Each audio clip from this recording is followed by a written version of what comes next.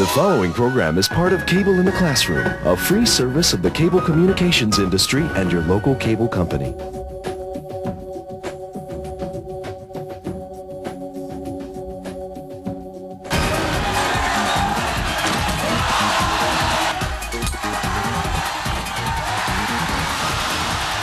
I was really having trouble with the trials. I just didn't have the energy. Luckily, someone told me about the Physics Friends Network. I don't know what's wrong. Tony, I'm thinking it's your kinetic energy. Why didn't I think of that? The Physics Friends Network is live, one-on-one, and 24 hours a day. You'll speak with a trained Physics Friends Network physicist. I'm seeing it now. You need more gravitational potential energy. Why sit there wondering? Call today and get a free consultation for only $5.95 a minute. That's free for only $5.95 a minute.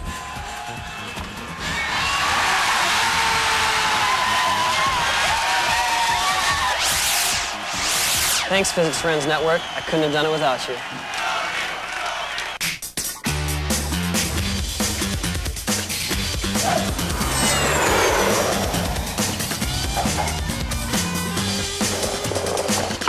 Sports figures, put your brain in the game.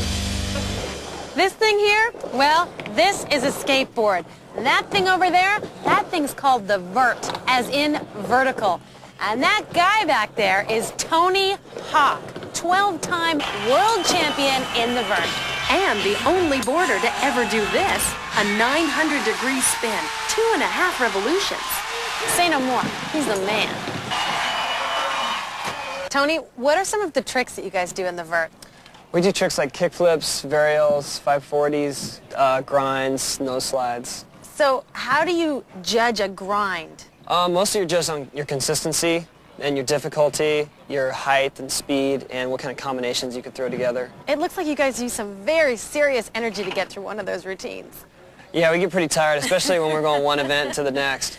So if you've been doing like a three-day event, how do you find energy to go on and win? I don't know, sometimes you gotta dig deep to find it. Well, what if I told you that all the energy you needed was right over here? The stairs. No way. Way, come on. I'm telling you, climbing the stairs will give you all the energy you need in the vert. I wanna see you prove it. All right. Energy is one of the coolest things in physics.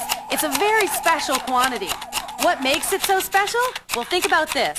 In the whole universe, energy can never be created or destroyed. You can't make it, and you can't destroy it. Pretty wild, right?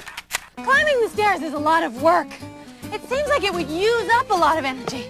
But how could climbing the stairs actually give you energy? Phew, I sure did a lot of work to get this bowling ball up here. It may not seem like it, but this ball is now actually full of energy. I can't see it or feel it, but it's there. Now the kind of energy that's in there is called gravitational potential energy. You see, gravity is pulling it down, so it has the potential to go down. See, it's moving. So now, it has a different kind of energy. Kinetic energy. Because we're up here off the ground, we have gravitational potential energy. That's why it's sometimes called the energy of position. Gravitational, gravitational pot, poten, Well, you know, we can make this a little bit easier by using GPE for gravitational potential energy and KE for kinetic energy. cool. Yeah.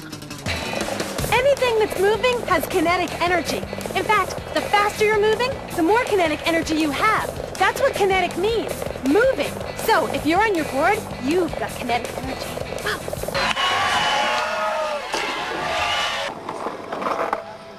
All right, so what you're saying is that when I'm rolling on my board, I have kinetic energy. Right, And you said that energy can neither be created nor destroyed. Right. But he stopped him. He didn't have kinetic energy anymore. The energy was destroyed. Good point, good point. Hmm. Well,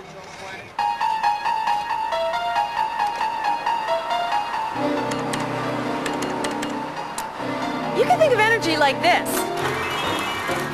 Let's say this money is energy. Well, money can be transferred, right? Jackie, can I borrow a few bucks? Well, the money's gone, but it hasn't been destroyed. Now my friend has it. Now, let's say she runs into someone else she owes money to. Hey, Hey. I really need that money that you owe me. Oh, yeah, sure. Hey, man. Looks like you have that money you owe me. Oh yeah, sure. You see? The money wasn't destroyed. It just got passed along from one person to the next. Jackie, I'm sorry. I really need to borrow a couple more bucks. Thanks. See? That's just like energy. Uh, it can never be created or destroyed, but it can be transferred. Hey, um, you know, I'm gonna need that back tomorrow.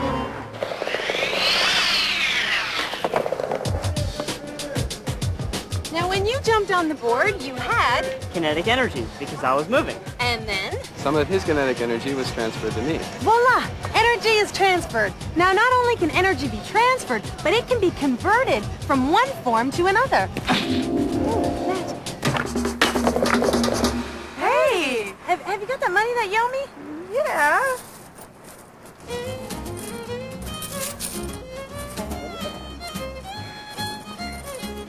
There's a little more. Right. up. good. And that's 40. Thanks a lot. No problem. Well, I got my money back, just uh, in a different form. You see, that's just like energy, because energy can be transferred, or you can convert its form. I think I'll go do my laundry.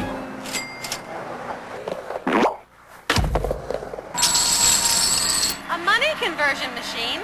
An energy conversion machine! Watch what happens to Tony Hawk's energy! Tony starts out at the top with gravitational potential energy. As he comes down the vert, the GPE gets converted to kinetic energy. His kinetic energy carries him up the other side, but as he goes up, it's being converted back to. GPE. You see, the energy just keeps getting converted from one form to another. GPE to KE, KE to GPE, GPE to KE, KE to GPE. Whoa, I'm getting kind of dizzy. You said that energy could never be created or destroyed. But when you go back and forth in the vert, eventually you will stop. What happens to the energy when you stop? Yeah, what's up with that? Well, let's do a little experiment and find out. Let's see what happens when we drop a bowling ball down the vert.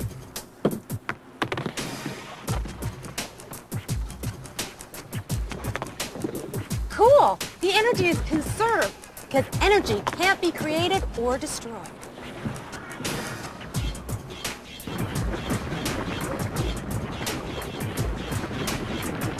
Hey, what happened? There wasn't a force to stop the ball, so where'd the energy go? Actually, there was a force. As the ball was rolling down the surface of the half pipe, there was friction between the ball and the surface. That friction converts the energy of the ball into another kind of energy, thermal energy. Ow. Mm. Heat. Fire has a lot of energy, right? Well, fire is just heat. Lots of it. And heat is a form of energy. Geez, I hope you guys like these well done. Both the surface of the ball and the half pipe got a little hotter as the ball rolled. The energy wasn't destroyed, it was transferred to heat. Ooh, So now the energy is heat in the tail of my board. exactly. And some of it's gone into the asphalt. And some of it's been converted to sound, too. Sound is a form of energy as well. Ooh, you okay? So what happens when you stop all at once like that?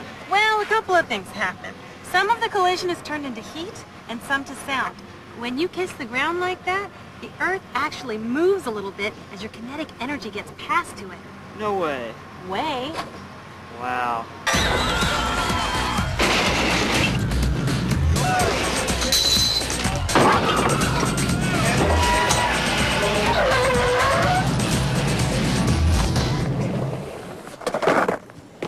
Those are some pretty hot wheels. My wheels are hotter now, but then they cool off, so what happens to the energy then?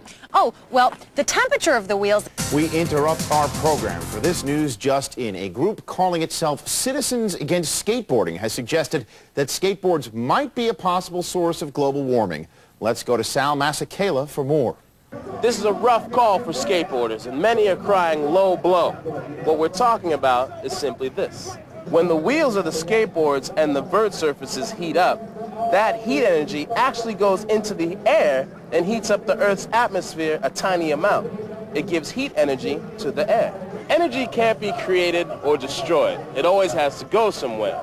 The heat from a skateboard isn't that much, but what the CAS claims is that if you add all the skateboards on the planet, we've got a problem. This is Sal Masekela from the X-Trials. Sal, thank you very much. The Department of Environmental Protection is considering the accusations. We'll have more as this story unfolds. All that energy can't be destroyed, it just keeps getting transferred. Right, but because you can't store up the heat energy, it gets lost. So what are some ways that you can increase your energy in the vert? Well, I bend my knees and I straighten them through the transition that propels me upward. Like energy. Right. Okay.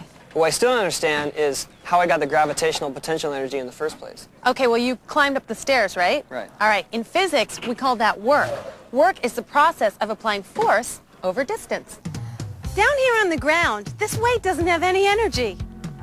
It just sits there. But when I lift it, I'm doing work. I'm transferring my energy to the weight. I'm moving it. This weight now has gravitational potential energy, but I'm not doing any more work on it. I'm applying a force to hold it up. Now that may seem like work, but it's not. Work is only when something's moving. We can see it in the formula for work.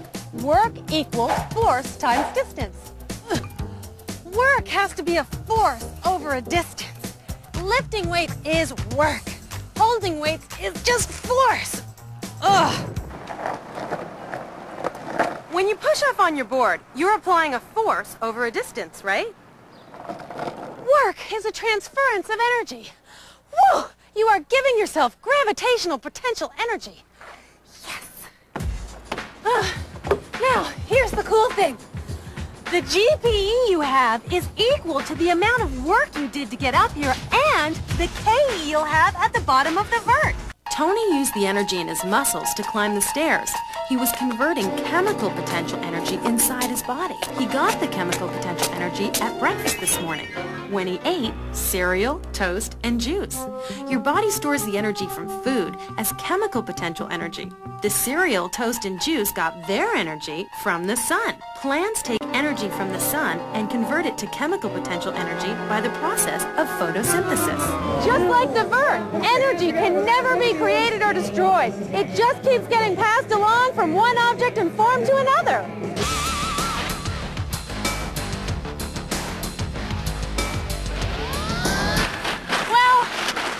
It.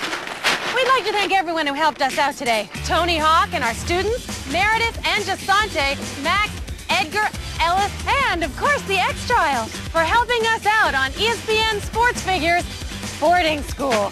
You know what? I think I've transferred all my energy. Oh. Let's go back in time.